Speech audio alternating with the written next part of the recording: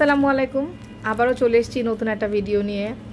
তো আজকে আসলে গতানুগতিক ভিডিওর চেয়ে একটু ডিফারেন্ট আজকে আমি কিছু মেকআপ প্রোডাক্টস দেখাবো। এটা আসলে একটা চ্যালেঞ্জ ছিল।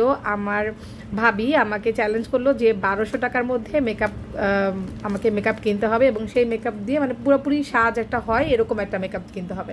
তো আমি এডিশনাল কিছু নেইনি। আমার বাসায় যেগুলো আছে, বাসা থেকে আমি বাসায় আমার লিপস্টিক তারপরে কি আমার যে ব্রাশগুলো, এগুলো আমি বাসা থেকে নিব বাট বাকি যে মেজর মেকআপগুলো সেগুলো আমি অনলাইন শপ থেকে নিয়েছি। তো আমরা চিন্তা করছিলাম যে এত কম টাকা, এত কম রেঞ্জে কোথায় পাবো মেকআপ তো পরে এরকম মার্কেট প্লেস থেকে আমি অনলাইন বিউটি শপ একটা পেজের অ্যাড্রেস পেলাম। ভাইয়াটার নাম হচ্ছে মোহাম্মদ ইমন। তো ওই ভাইয়ার পেজ থেকে আমি এই প্রোডাক্টগুলো নিয়েছি। তো আমি একটু প্রোডাক্টগুলো দেখাই। প্রথমে হচ্ছে এটা কী নাম? ক্যামাডু কসমেটিক্স আচ্ছা আমি এটা নাম আজকে প্রথম জানলাম। এটা একটা ব্লু আইলাইনার এটা হচ্ছে একটা ব্লু আইলাইনার এটার দাম ছিল সম্ভবত একশো সরি সরি সরি এটা হচ্ছে টেকনিক একটা। আমি ভুল করে ভুল ব্যাকেট ঢুকে ফেলছি। এটা হচ্ছে টেকনিকের লিকুইড লাইনার এটা ছিল দুইশো টাকা মনে হয় এটা দাম নিয়েছিল। আর এটা হচ্ছে, এই যে ক্যামাডু বা হ্যাঁ ক্যামাডু যে লাইনারটা এটা ছিল একশো ষাট টাকা।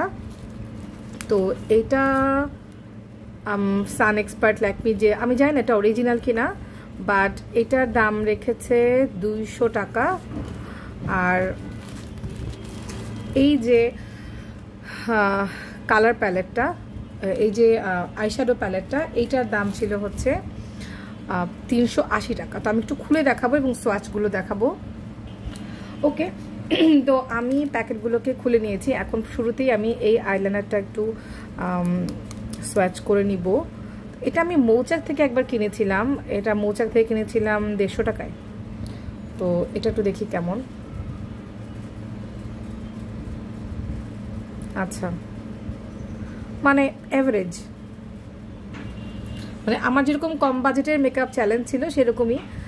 দেখি এটা কতক্ষণে ড্রাই হয় বা কিছু। এখনই আমি এটাকে স্মাচ করার চেষ্টা করব না দেখি। আচ্ছা টেকনিকেরটা একটু দেখি। টেকনিকেরটা আসলে কম বাজেটের মধ্যে টেকনিকের আইলাইনারটা খুব ভালো।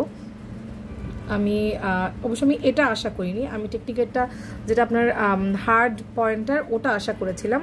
যাই হোক, আমি যেহেতু ওনাকে বলে দিইনি, তাই আমি এটা নিয়ে কোনো মন্তব্য করব না। আর এই যে টেকনিকের আইলাইনারটা যাই হোক মানে হার্ড পয়েন্টার দিয়ে অনেক সময় চোখে ব্যথা লাগে। তো এই তুলিটা দিয়ে হয়তো বা একটা অন্যরকম এক্সপিরিয়েন্স হবে আমার মেকআপ করতে গিয়ে। তো এখন আমি কম্প্যাক্টটা খুলবো। ও কম্প্যাক্টের সাথে আবার একটা ইয়েও আছে পাফও আছে দেখছি। গুড মানে মাত্র দুশো টাকা এত কিছু আমি আশা করিনি আসলে। কম্প্যাক্টার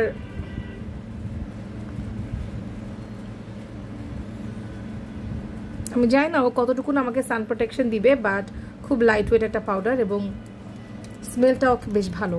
আসলে আমি আবারও বলছি যে, যেহেতু প্রোডাক্টগুলো আমি আমি কনফার্ম না যেটা অরিজিনাল কিনা, আমি জিজ্ঞেস করেছি ওনাদেরকে অনলাইন পেজে ওনারা বলেছে যেগুলো অরিজিনাল কিছু কিছু প্রোডাক্ট আছে চায়নার সেগুলো ওনারা বলেছে যে, যেমন এগুলোর প্রোডাক্ট হচ্ছে, এগুলো হচ্ছে অরিজিনাল চায়নাতে বিউটি গ্লেজও সম্ভবত চায়নার তো আচ্ছা এই প্যালেটটা আমি অনেকের কাছেই দেখেছি। এটা কিন্তু একটা মানে আমার কাছে মনে হয় কি কম বাজেটের মধ্যে একটা মাস্ট হ্যাভ প্যালেট কারণ এখানে না সবগুলো কালার আছে। দেখেন এখানে গ্রিন পিঙ্ক এবং বেইজ কালারের তারপরে আপনার ব্লু আর সব শেষে হচ্ছে ম্যাজেন্টা পার্পল এরকম। মানে মোটামুটি যতগুলো কালার আমাদের লাগে, আমি একটু একটা কালার একটু সোয়াচ করে দেখি যে কীরকম। আচ্ছা কালার পিগমেন্টেশনও কিন্তু ভালো মাসাল্লাহ খারাপ না।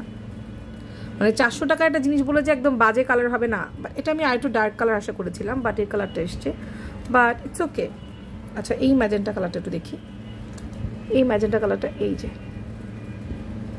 হ্যাঁ আমার আসলে এতটা ডার্ক কালার লাগেও না বাট একটু যাদের ডার্ক স্কিন টোন, তাদের হয়তো বা একটু ডিপ কালার দিলে শেডটা ভালো দেখা যাবে। বাট আমার কাছে খুব খারাপ মনে হচ্ছে না। মানে তিনশো আশি টাকার তুলনায় মেকআপগুলো একদমই খারাপ হয়নি। তো আমি হয়তো বা এটা দিয়ে একটা মেকআপ লুক তৈরি করব এবং আপনাদেরকে হয়তো বা শেয়ার করব যে কেমন হয়েছে আমার মেকআপ লুকটা যদিও আমি এর কখনো মেকআপ ভিডিও করিনি। তো anyways so that will be all for today আর আমি অবশ্যই পেজের লিঙ্কটা দিয়ে দিব। যদি কারও লো বাজেটের মেকআপ কিনতে ইচ্ছা হয়, কিনে নেবেন। বাট আমি একটু বলে দেখি যে অবশ্যই মেকআপ করার পূর্বে স্কিনটাকে ভালো করে প্রেপ করে নেবেন।